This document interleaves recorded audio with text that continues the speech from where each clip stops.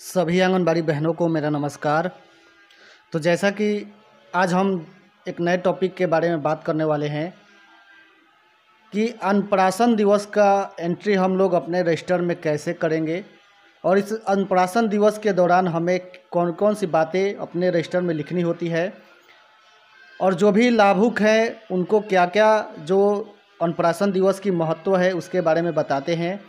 तो इस वीडियो में हम आपको पूरी जानकारी बताएँगे कि आप लोग अपने रजिस्टर में कैसे अन्नप्राशन दिवस की एंट्री लिखेंगे। साथ ही साथ यहाँ पे हमने जो अन्नप्राशन दिवस में मुख्य बातें हैं उसको बताने के लिए यहाँ पे हमने आ, कुछ पॉइंट्स लिखे हैं उसके बारे में भी बताएँगे कि क्या क्या पॉइंट्स समझाने होते हैं अन्नप्राशन दिवस के दौरान। तो वीडियो में आप लोग बने रहिए वीडियो को आप लोग शुरू से लेकर लास्ट तक ज़रूर देखिएगा। तो चलिए शुरू करते हैं आज की ये वीडियो। और जैसे कि हमने आप सभी को पिछले वीडियो में गोद भराई दिवस की, जो पंजी है, यानी कि जो रजिस्टर में लिखना है गोद भराई दिवस, कैसे लिखते हैं, इसके बारे में हमने आपको पिछले वीडियो में बताया था।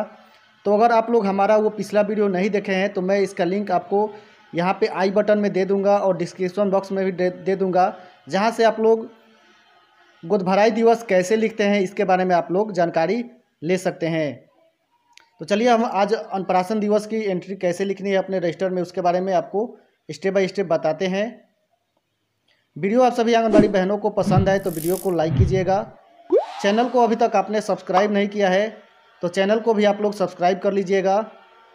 चलिए शुरू करते हैं। देखिए, सबसे पहले हम यहाँ पे अन्नप्राशन दिवस लिख देंगे हेडिंग में। उसके बाद यहाँ पे आपको लिखना है, आज दिनांक, यानी जिस दिन आप लोग अन्नप्राशन दिवस मनाते हैं, लगभग लगभग सभी जगहों पे 19 तारीख को अन्नप्राशन दिवस हर एक महीना मनाया जाता है। और उसके बाद यहाँ पे आपको दिन लिखना है कि कौन से दिन को आप लोग अन्नप्राशन दिवस कर रहे हैं। को आंगनवाड़ी का नाम आपको लिखना है। आंगनवाड़ी का नाम जो भी है और किस टोला में आपका आंगनवाड़ी पड़ता है, उसके बाद आपको वार्ड संख्या लिख देना है। जो भी आपका वार्ड हो, पंचायत आपको लिख देना है। केंद्र संख्या आपको यहाँ पे लिख देना है। फिर आपको यहाँ पे लिखना है पर, यानी कि केंद्र संख्या पर छः माह से ऊपर वाले बच्चों एवं उनके माता पिता को बुलाया गया। साथ ही सात माह से दो वर्ष के बके लाभार्थी को भी बुलाया गया। तो इस अन्नप्राशन दिवस के दौरान हम लोग छः माह से जो ऊपर वाले बच्चे हो जाते हैं, जिनको हम लोग अन्नप्राशन करते हैं, यानी मुँह जूठी हम लोग भोजपुरी भाषा में बोलते हैं तो उसको हम लोग यहाँ पे उनका जो अन्नप्राशन दिवस की जो जानकारी है उसके बारे में बताते हैं और जो सात माह से दो वर्ष के बच्चे हैं, उनके भी माता पिता को बुलाते हैं कि आपको इस दौरान अपने बच्चों को, बच्चों की देखभाल कैसे करनी है क्या क्या जो पौष्टिक आहार है उसको अपने बच्चे को खिलाना है, इस बारे में भी हम लोग समझाते हैं। उसके बाद लिखना है आपको, उसके बाद पूरक पोषाहार के प्रदर्शनी में अन्नप्राशन की प्रक्रिया शुरू की गई। जैसे कि पूरक पोषाहार का जो आ, हम लोग वहाँ पे थाली में सारा चीज़ सामग्री रखते हैं हरी साग सब्ज़ियाँ वगैरह सभी चीज़ उसको प्रदर्शनी दिखाते हुए हम लोगों ने उसकी प्रक्रिया शुरू की। और पूरक पोषाहार के प्रदर्शनी में मेनू के अनुसार उपस्थित सभी छः माह से दो वर्ष के लाभार्थी को इसके लाभ के बारे में बताया गया। तो जो हम लोग प्रदर्शनी में रखे हैं जो सामग्री और जो बच्चों के पौष्टिक के लिए क्या क्या ज़रूरी होती है, इसके लिए हम लोग जो भी वहाँ पे लाभुक हैं और जो लाभार्थी हैं, उनको हम लोग इसके बारे में उसकी चर्चा करते हैं, उसके लाभ के बारे में बताते हैं। ये सारी डिटेल्स आपको यहाँ पे लिखनी है। और अन्नप्राशन हेतु बच्चों के लिए हलवा बनाया गया और कटोरी में हलवा लेकर चम्मच से खिलाया गया। जैसे कि उस दिन हम लोग हलवा बनाते हैं और बच्चों को खिलाते हैं। हलवा या आप यहाँ पे रसियाव भी लिख सकते हैं, जो भी आप उस दिन बनाए हैं।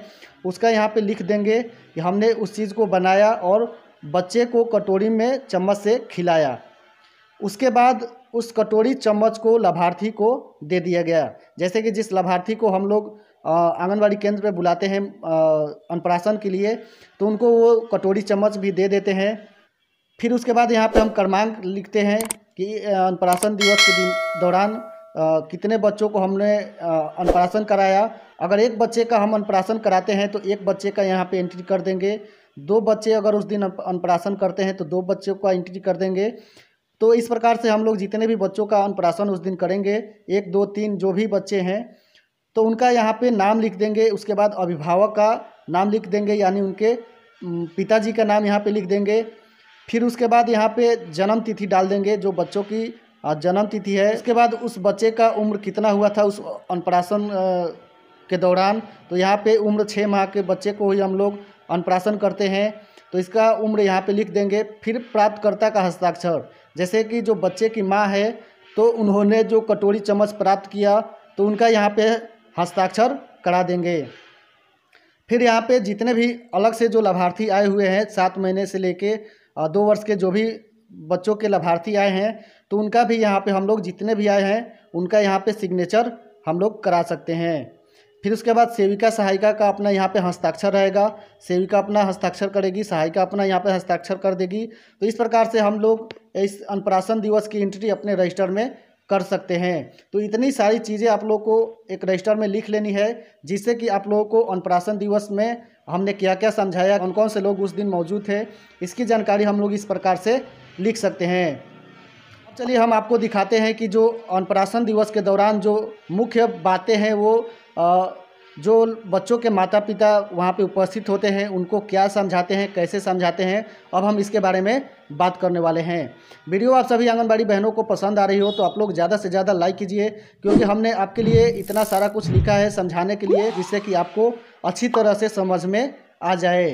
तो देखिए, अब अनप्राशन दिवस के दौरान हम लोग जो प्रमुख संदेश हैं, जो माताओं को देते हैं कि जो बच्चे हैं छः माह से जब ऊपर हो जाते हैं, उनको आहार में उनको कौन सा आहार शामिल करना होता है, जिससे कि बच्चों की ग्रोथ अच्छी हो। तो देखिए, यहाँ पे हम कुछ पॉइंट लिखे हैं।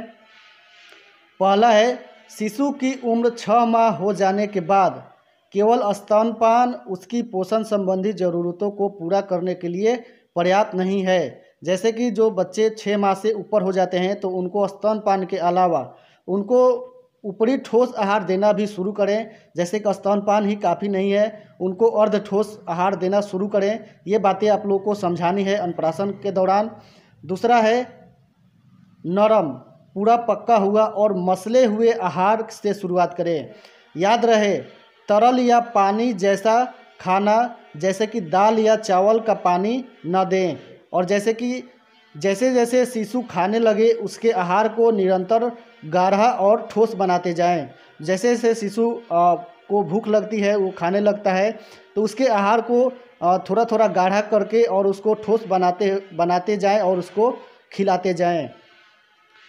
ठीक है, उसके बाद यहाँ पे तीसरा पॉइंट है, शिशु के लिए पौष्टिक आहार। जैसे कि शिशु के लिए पौष्टिक आहार क्या है? तो यहाँ पे आप, हमने लिखी हुई है, गाढ़ी दाल, फलिया हरी और पीली नारंगी रंग की सब्ज़ियाँ व फल, तेल या घी, दूध, मलाई के साथ और दही।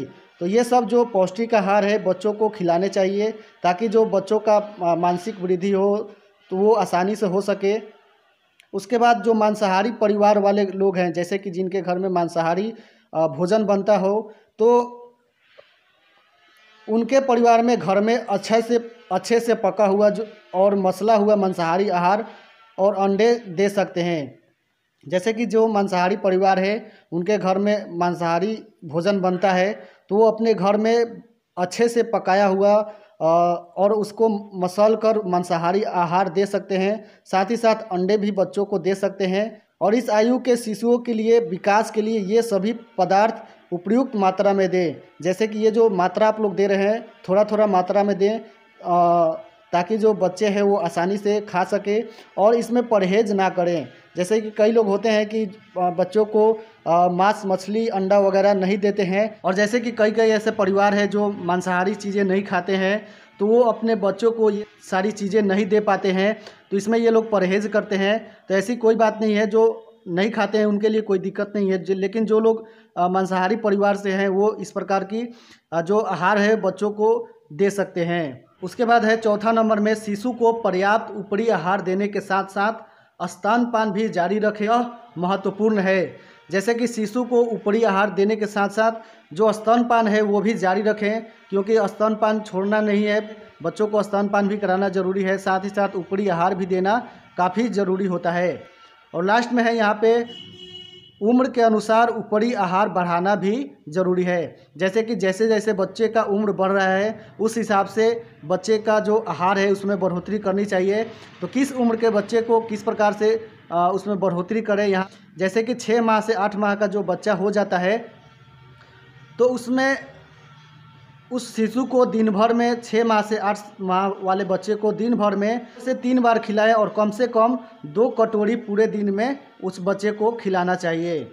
उसके बाद नौ से ग्यारह माह का जब शिशु हो जाता है तो उसको दिन भर में तीन से चार बार खिलाना स्टार्ट करें और कम से कम तीन कटोरी पूरे दिन में ये जो पौष्टिक आहार वाली जो हमने आपको सारी चीज़ें बताई, उसको खिलाने की शुरुआत करें।